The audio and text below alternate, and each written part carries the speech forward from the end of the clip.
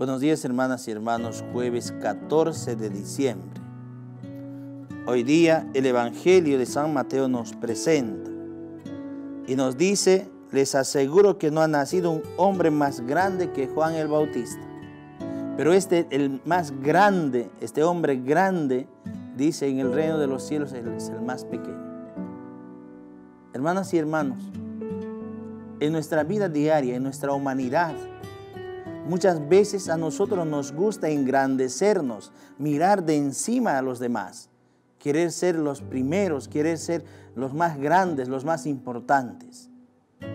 Si este hombre que dice Jesús que es el más grande nacido de mujer, es el más pequeño en el reino de los cielos, el Señor nos está invitando hoy a que nosotros con humildad, con sencillez, podamos servirle al Señor sin compararnos a nadie, sino más al contrario, reconociendo nuestra pequeñez.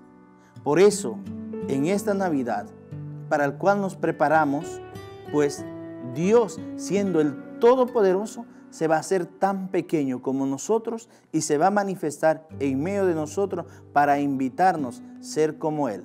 Es decir, servir con amor, con paciencia, con sencillez, sin engrandecernos, más al contrario, dejar que la gracia de Dios crezca cada vez en nuestro corazón y nuestra humanidad sea más pequeña. Que Dios Todopoderoso nos anime, nos alimente y fortalezca para que cada día nosotros reconozcamos nuestro ser pequeño, nuestro ser insignificante delante de Dios.